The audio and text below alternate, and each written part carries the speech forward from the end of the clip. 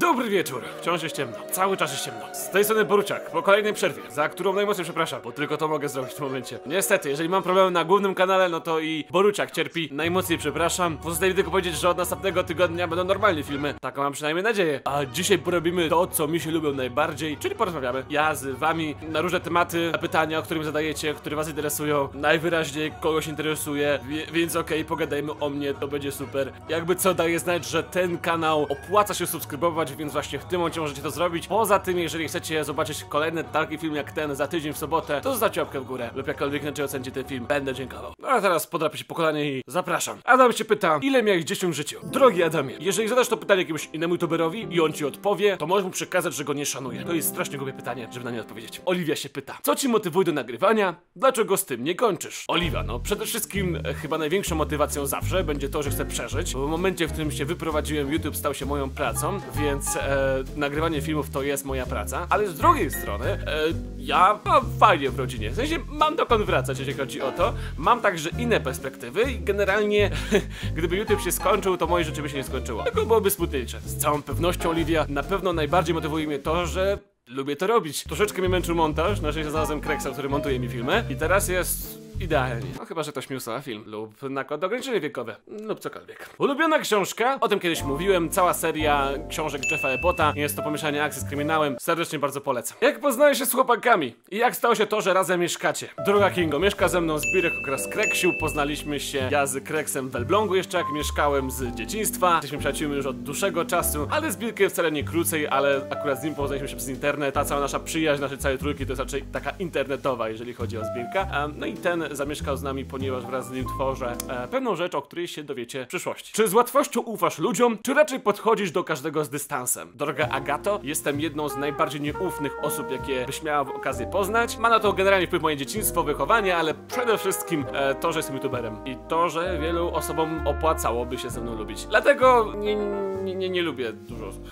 Co spowodowało tak wielką zmianę u ciebie?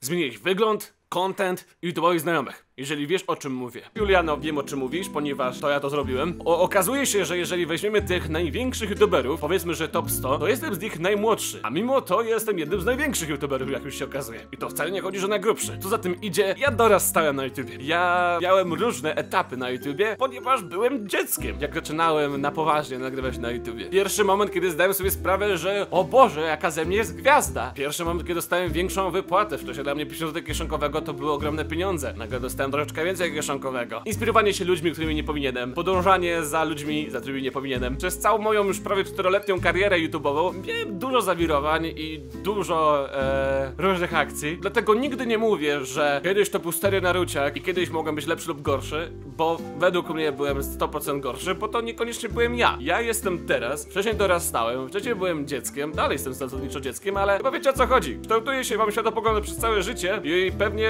mój content i cały ja zupełnie się zmieni za rok, ponieważ ja się zmieniam. Ja, wydaje mi się, że jestem bardzo ambitną i jakby progresującą postacią i osobą. Ja dorastam, dojrzewam, no i się zmieniam. No, tak to działa i wraz ze mną mój kanał. Czy wierzę w te wszystkie końce świata? Cornelia są takie ładne książki, których jest bardzo ładnie wyjaśnione, dlaczego mówi się o końcach świata i dlaczego się opłaca em, straszyć ludzi generalnie na całym świecie tym, że się skończy świat. To się nazywa ekonomia. Zawsze tak gardzisz szkołą, jak ją komentujesz. Dlaczego grasz w parodii? To jest bardzo wrażliwy temat, Na ten moment, aczkolwiek, żeby dać ci trochę bigger picture, to po pierwsze, jestem bardzo dobrym, wydaje mi się, znajomym Stewarta i lubimy się a, i przede wszystkim szanujemy. I zważywszy na to, że wcześniej brałem udział w szkole parodii i dlatego, że chciałem e, Stewarta wesprzeć i po prostu wys- wystąpić w tym, żeby to trafiło do jak największej ilości osób, bo okazuje się, że ja też jestem popularnym youtuberem. To wystąpiłem w jego parodii pod jednym warunkiem, aby mógł to skomentować. Widzicie jak wyszło, nie? Cieka ciekawe, gdzie jest mój filmik, gdzie skomentowałem. A, aczkolwiek to nie jest w żaden sposób atak w Stewarta. Stewart mi akurat bardzo pomaga teraz, w sytuacji z pewną stacją. Masz zamiar jak inni youtuberzy zacząć przygodę z rapem? Cornelia po raz drugi.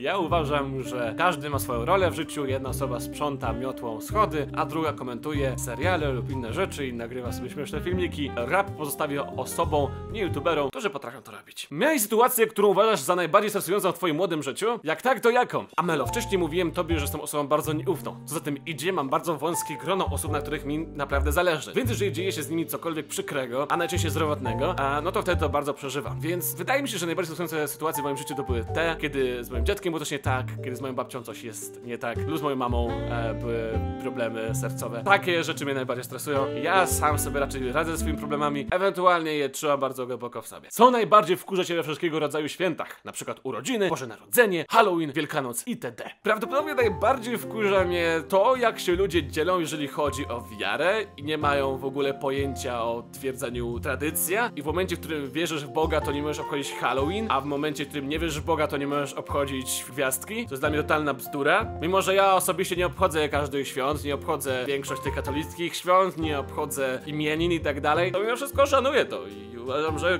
on, no, to, to jest fajna sprawa. Ludzie mogą sobie nie pójść do pracy, ja przez ten dzień mogę być sparaliżowany w domu. Czemu ludzie się zawsze sadzą ze swoim światopoglądem? Wsadź go sobie w... Masz jakieś lęki, fobie? Jak tak, to jakie? Mam straszny lęk przed śmiercią, w sensie dużo osób tak mówi, a jak umrę, to umrę, pójdę sobie do Boga chmurach, to ja mam kłopot. Ja, ja jestem przerażony śmiercią i bardzo dbam o siebie, a przede wszystkim o swoje bezpieczeństwo. Ja jestem taki trochę czasami sztywny. Też bardzo nie lubię owadów, nie cierpię owadów, owady są obrzydliwe. Największe pozytywy i negatywy bycia rozpoznawalnym. Jessica z czasem, jak już wiesz, staje się profesjonalistą w tym youtubowaniu, e, to one się zwracają. W sensie są oczywiście pozytywy, które są dla ciebie już normalnością, dla ciebie też negatywy, które są dla ciebie normalnością.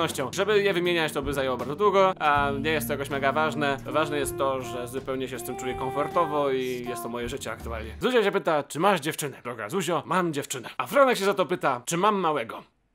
Nie Franek, nie mam małego. Dziękuję za obejrzenie tego krótkiego lub nie krótkiego filmiku, gdzie sobie chwilę pogadałem. Bardzo to lubię. Zapraszam was bardzo serdecznie na moją grupę Ciuraki, gdzie macie okazję mi zadawać takie pytania. E, to jest jeden z tych plusów bycia tej grupie. Bardzo serdecznie polecam. Ostatnie czasy dla mnie prywatnie oraz publicznie były dosyć ciężkie. Dziękuję serdecznie za każde wsparcie i za wyrozumienie tego, że czasami mówię, że będzie film, a go nie ma. Staram się być najbardziej regularnym jak tylko i wyłącznie potrafię, aczkolwiek jednak wena oraz chęci, gdzieś coś nie tak, jednak gdzieś tam zanikają. Mimo, że mam naprawdę długą listę pomysłów na filmy, to jednak niekoniecznie zawsze mam ochotę nagrywać ze względu na to, co się dzieje na YouTubie e, i co się dzieje u mnie też w prywatnym życiu. I to często się przekłada na to, że nie potrafię sobie po prostu się odciąć i siąść do biurka i nagrać film. Raczej ja to wszystko sobie przeżywam e, dookoła e, i nie potrafię się tak, mm, wiecie, na siłę uśmiechnąć, a jednak mój content jest zbudowany do pozytywnego nastroju. Mimo, że często narzekam, to mimo wszystko w pozytywnych em, vibach. Jeszcze raz, bardzo, to bardzo dziękuję za wasz support. Dużo to mnie znaczy, mimo że czasami może się tak nie wydawać, bo, bo rzadko o tym mówię, bo wiecie, ja taki facet, więc ja nie przyznaję, że moi, moi widzowie są dla mnie bardzo ważni. Tylko niestety z tym podkreślaniem tego, jacy widzowie są dla ciebie ważni, jest problem, że dużo innych twórców to za bardzo um, naciągnęło przez czas em, ich youtubowania i po prostu ciężko mi się wam dziękuję, kiedy dziękuję wam każdy youtuber i zazwyczaj o to samo, bo to jednak jest tylko i wyłącznie rozrywka, to co przynosimy. Czasami można coś wynieść, ale no też co można wynosić od 19-latka, 20-latka, 21-latka, no jakby, jakby słuchacie ludzi, którzy nie mają jakiegoś wielkiego doświadczenia w życiu, ale czasami można być i mądrym, młodym człowiekiem i można być także starym, głupim człowiekiem. Jak na razie jeszcze raz, do widzenia, miłego wieczoru, bo teraz cały czas jest wieczór, cały czas jest ciemno. I do zobaczenia, trzymajcie Martische. Papá!